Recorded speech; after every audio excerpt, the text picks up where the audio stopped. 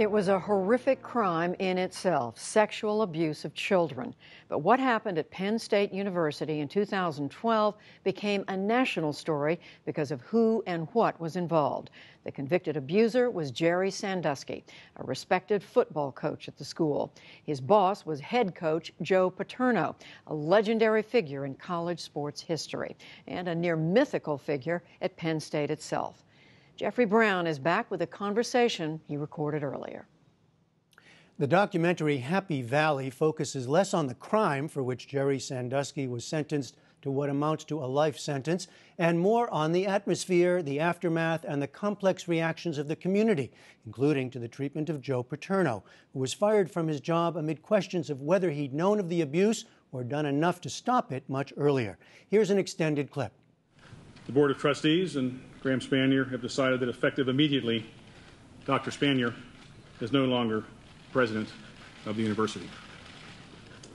In addition, Joe Paterno is no longer the head football coach, effective immediately.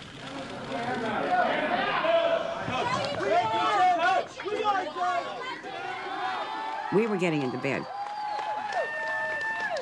When it rang, I gave Joe the phone, and he said, okay, okay. And he hung up. He said goodbye. And he said, they just fired me. So I redialed the number. And I said, after 61 and a half years, he deserves better. Goodbye. And I hung up. I think I couldn't, I couldn't believe that's how you, they can take your heart away that quickly. Why did you guys come out? What do you want to say? You want to talk to? Guys, back up! We Joe love! We Joe love! We Joe love! We Joe love!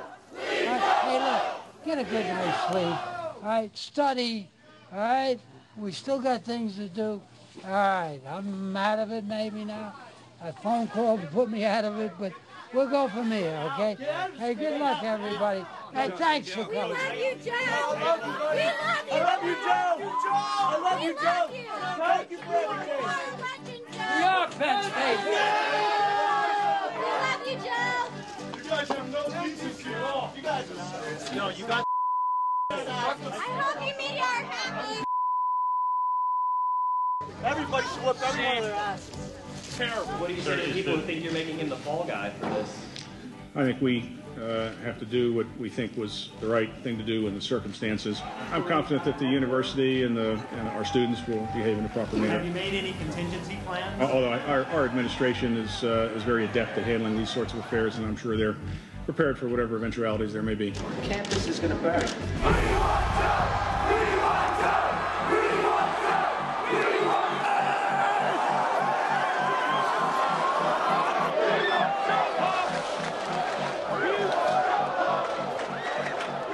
Was just so angry.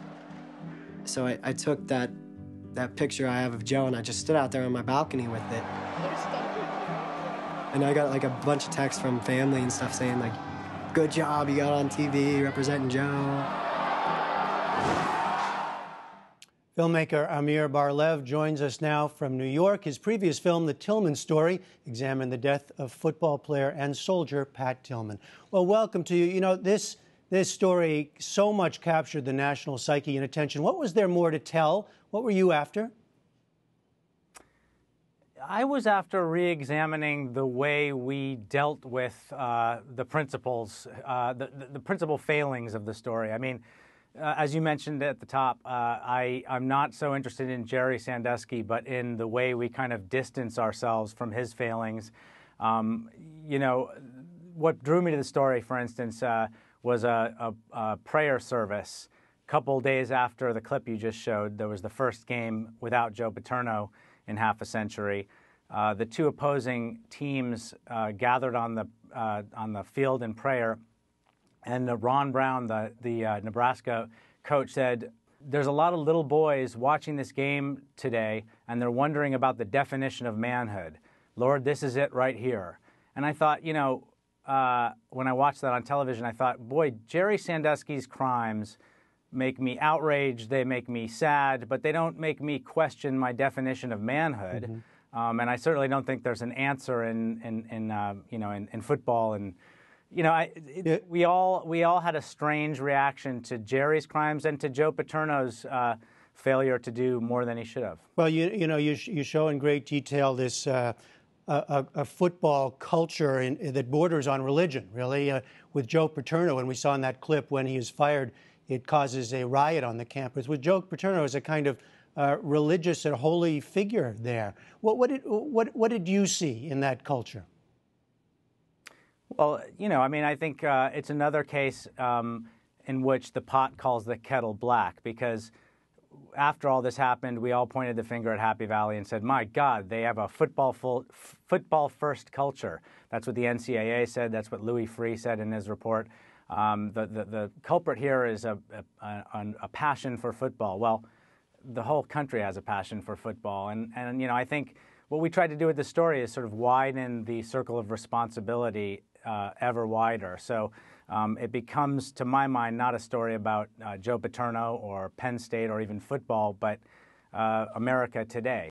It's interesting you say that because it comes through in the film, you know, capturing many voices. Uh, pro and con football, pro and con Penn State, pro and con Joe Paterno. Uh, did you yourself come to conclusions about the, the culture, about the aftermath, about the sort of culpability of people, or did you really just want to put the, those voices out there? You're right, we do let a lot of opposing voices be heard. But ultimately, the film has a perspective, and that, that perspective has to do with this sort of, this kind of uh, shaming spectacle that, um, you know, it's a film about ideas. It's a film, and one of those ideas is the way we shame people and kind of run them out of town so that culture can move on. You know, there are a bunch of other ideas. It's a film that, um, you know, while there's a painful story at its heart, it's, uh, dare I say, kind of an enjoyable 90 minutes because these are, I think, to, to my mind, compelling ideas that are very much uh, at play right now, and they're not, they didn't go away three years ago. Let me just ask you briefly, finally, what's your sense of, uh, in the end, of how this has played out in the aftermath in the years since at Penn State? Is there still, or in the larger culture, is there still soul searching over this? Uh, this is, I mean, it's in the headlines right now. You know, um, we're, we're learning more about uh, potential improprieties in the way Louis Freeh uh, um, conducted his report. Um, you know, certainly the NCAA saying uh, that, uh, you know, finding, um, finding Penn State and saying that they had a, they had a culture that put football first is something that bears more scrutiny. And I think, you know, uh, all the questions about the role of athletics and the role of football in our universities in America are, you know, are in the headlines today. So this is a story of our time. That's why I was drawn to it. All right. The film is Happy Valley, Amir Bar-Lev. Thank you so much. Thanks for having me. Happy Valley is now showing in theaters in New York, Los Angeles, Chicago, and several other cities. It's opening wider next month and is now available on demand on Amazon, iTunes, YouTube, and Google Play.